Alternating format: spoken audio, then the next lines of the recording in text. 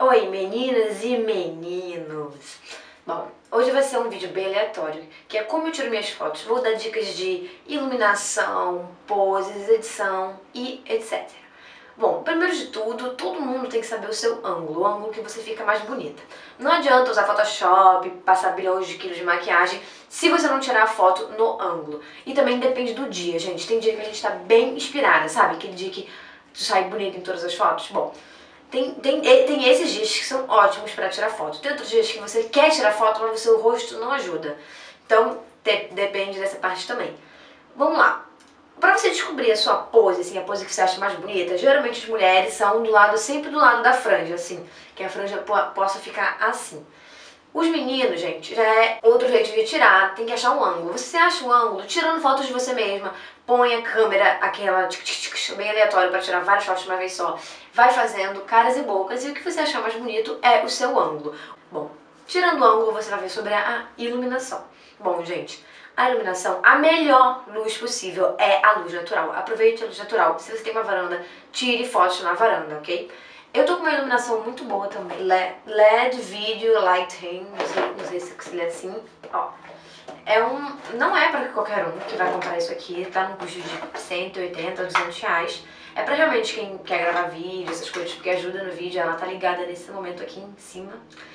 E, mas ela é ótima para tirar foto. Mas na hora de tirar foto, aqui dentro eu tenho, está ótimo. Mas se você quer tirar foto lá fora, desliga essa luz e mete a cara, porque a melhor coisa que tem é uma boa iluminação. Então eu vou levar a minha câmera lá para minha varanda para mostrar mais ou menos para vocês como é que o sol, como é que tem que ficar na hora de tirar foto. Então vamos lá. Bom, meninas, aqui é onde geralmente eu tiro minhas fotos. Quando eu gravo aqui, vocês têm essa visão aqui, né? Vocês estão vendo? Olha a iluminação como está boa. É, eu tiro mais ou menos daqui. A, a luz bate. A luz bate aqui no meu rosto. Vamos lá. Legal. Se você vai tirar fotos... Aqui, ali tá o sol, tá, gente? Aqui, deixa eu focar aqui. Aqui tá o sol. Então, se você for tirar foto, você tem que tirar as fotos pra cá. Entenderam? As fotos tem que ser assim. Deixa eu Estão vendo? Eu não sei se está focando, gente. Então, as fotos têm que ser tiradas daqui pra cá por causa da iluminação. Se você tirar ao contrário, se você tirar assim, provável que vocês estão vendo, não sei se está focando, mas provável que vocês estão vendo tudo escuro. Então, até na hora de gravar vídeos, vocês têm que tirar daqui, até na hora de gravar vídeo, vocês têm que tirar sempre da câmera pra cá, porque senão, vocês estão vendo? Fica super escura a foto e não vai constar, não vai ficar legal. Então, aqui também é um, é um, é um bom... Deixa eu mostrar aqui. Deixa eu tirar esse pano daqui, gente. Aqui também é um ótimo pra você tirar fotos. Por quê? Você apaga aqui onde eu estou, olha. Ah, será que tá focando? onde eu estou, a luz vai iluminar aqui e escurecer aqui. E isso dá um efeito legal nas fotos. Se você gosta, e geralmente a franja tem que estar para esse lado. Se a franja estiver para esse lado, ela vai escurecer muito seu rosto. Então tem que ser sempre daqui para cá, para dar tipo um degradê, que eu acho legal. As melhores fotos são as tiradas na varanda. Se você tiver uma janela, também serve do mesmo jeito, mas a varanda é melhor. Vocês estão vendo que tá bem escuro, né? Aqui, vocês estão vendo? Deixa eu acender essa luz aqui. Ó, é uma luz amarela e tem uma luz branca. Aqui é só na luz branca, escura. Aqui é na luz amarela, mas olha, eu estou amarela. Então eu ligo isso aqui. Deixa eu... Ó, liguei, vocês estão vendo? Esse aqui é o máximo que ele chega, vocês estão vendo? Tá sendo minha câmera branca, mas ó, eu geralmente eu deixo mais ou menos assim, ó. Pronto, eu deixo mais ou menos assim, bem de início. É um ótimo pra gravar vídeo, pra tirar fotos, pra tudo. É, eu recomendo, mas lógico que não é um custo que você vai gastar só pra tirar fotos, né, gente? Então, aquela, uma, uma janela, se você não tem uma varanda, serve. O melhor, mas assim, as minhas melhores fotos são tiradas fora, ou numa varanda, ou no quintal. Se você mora numa casa, você dá pra fazer fotos maravilhosas no seu quintal porque a iluminação vem toda em você. Na varanda também é ótimo. Se você só tem uma janela, você tem que tentar tirar fotos bem aqui está a janela. Você tem que tirar fotos sempre bem de frente à janela. E mesmo assim ainda pode ficar escuro dependendo da janela. Então para isso que serve também a edição. Vocês vão começar a editar comigo que vai ser bem básico do básico do básico. Eu não vou ensinar bilhões de coisas, tá? Mas então vocês vão me acompanhar agora. Vamos lá. Vamos começar. Desculpa pela minha voz tafanha, gente, mas vamos lá, né? As informações sobre esse Photoshop, como baixar, vai estar tudo no final do vídeo. Agora é só edição, ok? Bom, eu indico para vocês todos pegarem uma foto com uma qualidade boa, sabe? Não a do salvar no Facebook. Eu vou abrir a minha aqui, que a Bruna me deu, para poder editar. Tem que ser uma foto original, sabe? Da câmera mesmo, sem ser salva no Facebook ou qualquer outra coisa. Tô abrindo aqui. A iluminação dela provável tem que estar um pouco boa para fazer o que nós vamos fazer agora, tá? Uma foto no escuro já não ficaria tão legal. É bom a iluminação ser boa, que nem essa daqui, ó eu vou começar, sempre começo primeiro por imagem, ajustes e curvas. Nessas curvas aqui, eu vou aumentar bem pouquinho assim, só para tirar essa pele rosada, amarelada, avermelhada e deixar a pele com mais cor de pele. Olha, a pele já fica com uma cor mais de pele, né, no caso. Eu vou agora no L, no laço mágico e nós vamos dar mais vida ao olho da Bruna. A Bruna naturalmente tem olhos bem castanhos claros. Esse tutorial dessa maquiagem vocês podem ver, vou deixar o link aqui na tela, é bem natural. E eu, o que, que eu fiz agora? Eu cliquei em imagem, ajustes, Hue Saturation, que é a saturação, e vou aumentar a saturação dela, olha. Pronto. Vou fazer a mesma coisa no outro olho, que é em imagem, ajustes, saturação. E aumento a saturação, decoro o númerozinho para poder fazer nos dois olhos para não ficar uma cor diferente, né? Claro. Já decorei aqui, chupou.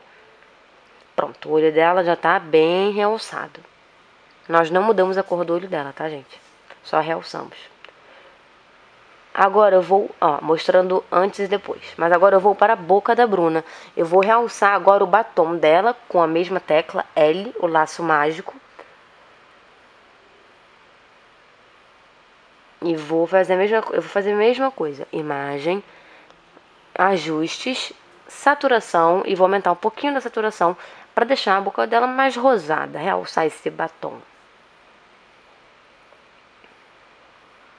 Pronto. Aos poucos vai ficando a cor mais viva, né, gente? Agora nós vamos realçar a maquiagem dela. Pela mesma tecla L, vamos pegar toda a parte de baixo da maquiagem dela, que é um azul Aqua, Imagem, Ajustes, Hue Saturation, que é a saturação, e vou aumentar para deixar bem mais marcante, bem mais chamativa a maquiagem. E a de cima vou mostrar uma coisa, como é que muda a cor da maquiagem, tá? Eu tô aqui, mesma coisa, selecionando imagem, ajuste, saturação. Aqui no Hue de cima, eu vou deixar mais roxinho, mas é aqui que eu posso mudar, aqui no de cima, no Hue. Eu posso mudar a cor da maquiagem. Olha aqui, eu vou exemplificar para vocês, tá? Tá vendo? A saturação só deixa mais a cor que tá. Eu vou deixar, eu vou puxar um pouquinho mais pro roxinho, como se estivesse mudando um pouquinho e aumentar um pouco a saturação, só para ficar uma cor bem legal, bem semelhante à original, tá? E vou fazer a mesma coisa nos outros olhos. É ótimo para quem é uma blogueira que tira foto e geralmente é super difícil uma câmera captar exatamente todas as cores que tem uma maquiagem. O Photoshop ajuda bastante quanto a isso, tá?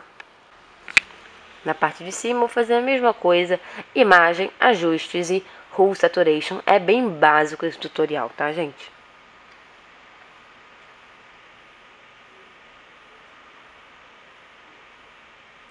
Feito isso, nós vamos para o cabelo agora, tá?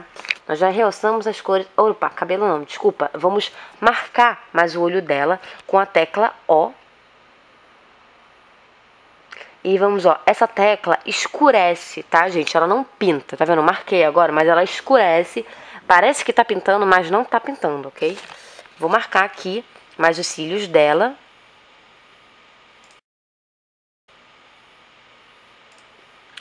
E vou também marcar como se fosse delinear os olhos da Bruna, isso mesmo. Vou marcar mais o olho dela aqui dentro, ó. Pra ficar bem mais marcado, bem mais, chamativo.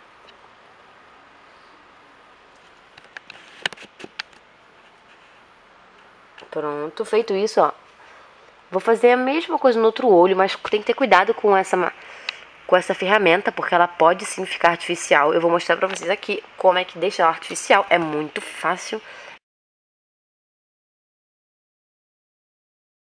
Ela tá no mais suave possível, mesmo assim ela consegue deixar artificial, olha.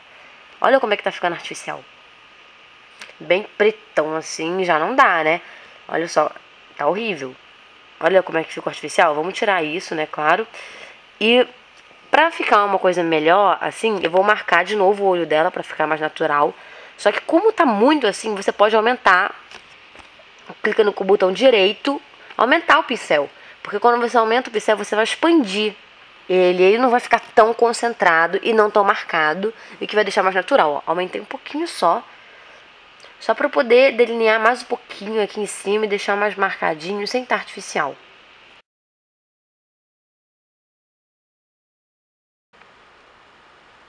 Pronto. Agora nós vamos para o cabelo da Bruna com o mesmo laço mágico, tecla L. E vamos lá pegar todo o cabelo dela. Você não precisa ser tão certeiro assim no cabelo, porque nós não vamos mudar a cor do cabelo, tá? Se você quer mudar a cor de alguma coisa, tem que pegar bem direitinho, bem mesmo. No cabelo da Bruna eu deixei vários fios de fora, mas não tem problema, porque eu só vou fazer a mesma coisa que eu fiz nos outros. Imagem, ajustes, saturação e aumentar um pouquinho a saturação. A saturação você tem que aumentar de acordo com como é que fica. Pegando a outra metade do cabelo, já decorei um número que eu botei no outro, né, pra não ficar diferente. A mesma coisa dos olhos.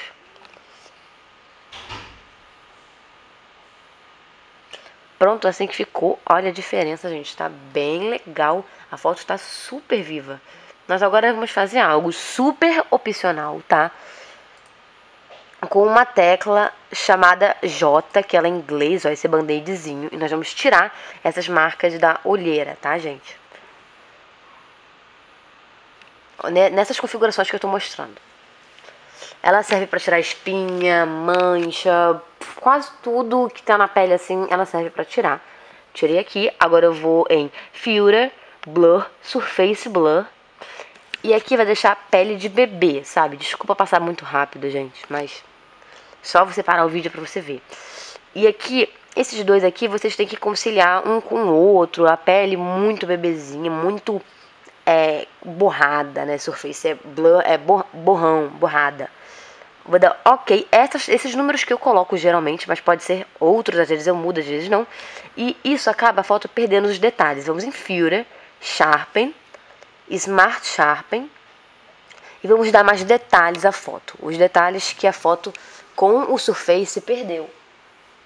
Olha, é a mesma coisa, esses números aqui variam de foto para foto, você tem que praticar, você vê o que fica melhor na sua foto.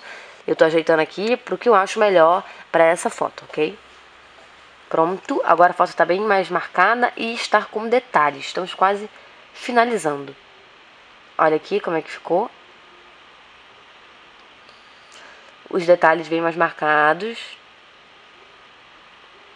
E agora uma foto do lado da outra, a antiga e a nova. Olha a diferença. Bom, agora eu vou dar alguns avisos que eu não dei na parte da edição, tá?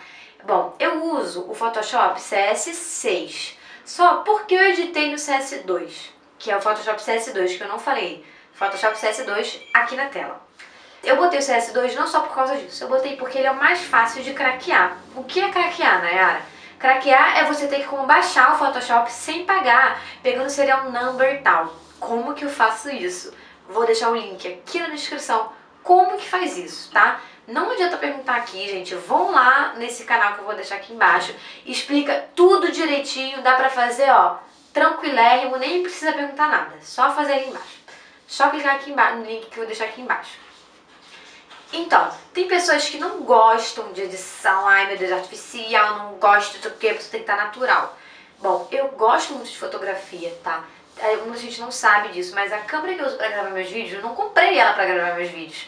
Eu sempre gostei de fotografia, e não é fotografia no automático, é fotografia no manual, tá? Tem gente que me pergunta. E assim, eu sempre achei a edição muito necessária. Em qualquer foto, uma edição pode ser necessária, outras pessoas não gostam de editar, mas eu sei o que eu gosto de editar. Eu gosto de realçar cores, é uma coisa que eu gosto de fazer nas minhas edições. Se você não gosta, problema. Se você não gosta, você não vê o vídeo, você fecha, você faz. Então, pessoal, se vocês gostaram do vídeo, clique em gostei aqui embaixo. Não se esqueça de se inscrever no canal para ter para acompanhar nossos vídeos. Toda semana postamos dois, dois vídeos na semana, um tutorial de make, um de cabelo, alguns aleatórios como esse. Então, para você ficar sempre por dentro, se inscreva aqui embaixo no, botão, no botãozinho inscrever-se, tá? E até o próximo vídeo.